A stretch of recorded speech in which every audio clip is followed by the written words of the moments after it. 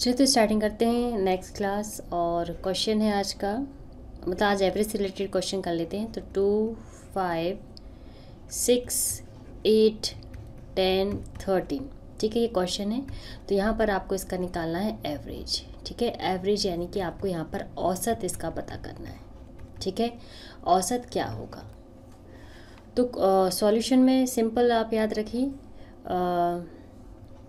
जितनी भी ऊपर नंबर हैं सम ऑफ़ ऑल नंबर्स ठीक है? और यहाँ पर टोटल नंबर मतलब इसका मतलब है कि जितनी भी संख्याएँ ऊपर मतलब जितनी भी पूरी संख्याएँ तो सभी संख्याओं का योग और कुल संख्याएँ, ठीक है? कुल संख्याएँ, यानी कि कितनी है? तो देखिए सभी संख्याओं को एक मतलब two plus five plus six plus eight plus ten और प्लस थर्टीन करना है और कुल संख्याएँ टोटल नंबर कितने वो आप काउंट कर लीजिए। तो मैं यहाँ पे काउंट करती हूँ। One two three four five और सिक्स कुल मिलाकर के छः संख्याएँ हैं तो आप इसको रखेंगे। इन सबको हम ऐड ऐड करते हैं। ऐड करने पर आपको मिलेगा चवालीस बटे छः। ठीक है कि फोर्टी फोर अपॉइंट सिक्स इसको अपन डिवाइड कर देते हैं तो आपको लगभग मिलेगा, मैं टू से करती हूँ तो ये मिलेगा। या तो आप यही आंसर कीजिए, या फिर आप इसे लिख सकते हैं सेवन सात, तीन, इक्कीस और बाईस। Seven by one upon three और ये हो गया इसका एवरेज नेक्स्ट क्वेश्चन है। एलेवन ट्वेंटी थ्री और एक्स ठीक है, इनका औसत आपको दिया है कितना है? चालीस है। तो आपको x का मान निकालना है। यानी कि x की वैल्यू पता कीजिए। तो सॉल्यूशन जो फॉर्मूला था, जितने भी नंबर हैं, उनका प्लस टोटल नंबर है कितने? वन टू और थ्री और इन सब का आपको एवरेज पहले से दे दिया। मतलब आपको एवरेज नहीं निकालना। अब आपको एक्स की वैल्यू निकालनी। तो ये हो जाएगा एलेवन प्लस ट्वेंटी थ्री मतलब ग्यारह। और प्लस तेईस प्लस एक्स और ये जो तीन है, इसके पास चला गया।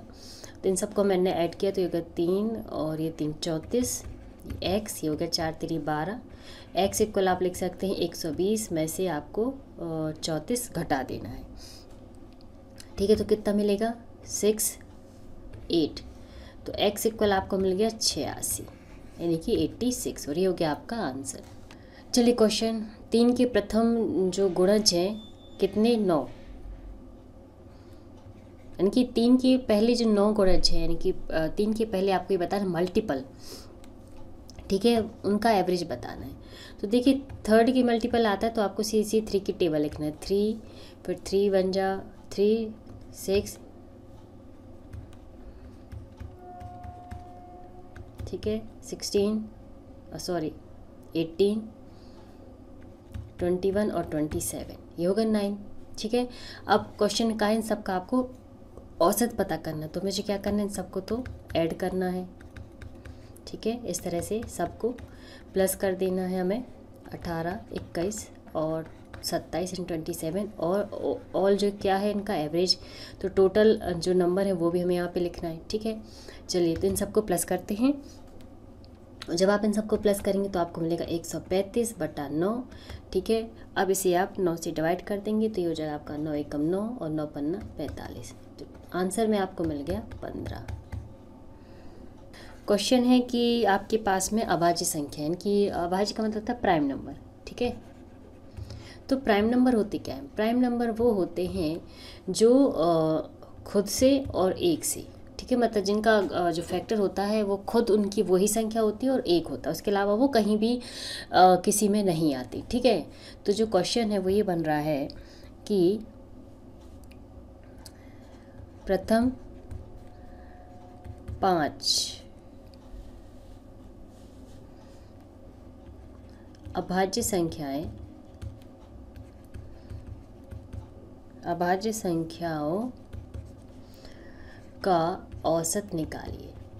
तो अभाज्य से ही पता है मतलब जो मतलब डायरेक्ट किसी से भी मतलब विभाजित ना हो डिवाइड ना हो तो ऐसी कौन सी संख्या है? देखिए टू है थ्री है फाइव है सेवन है एलेवन है, ठीक है? तो वैसे हमें पाँच चाहिए तो हमने पाँच ले ली। ठीक है, अब इन सब का हमें एवरेज निकालना। तो टू मैंने कि दो, तीन, यहाँ पे पाँच, यहाँ पे सात, यहाँ पे ग्यारह।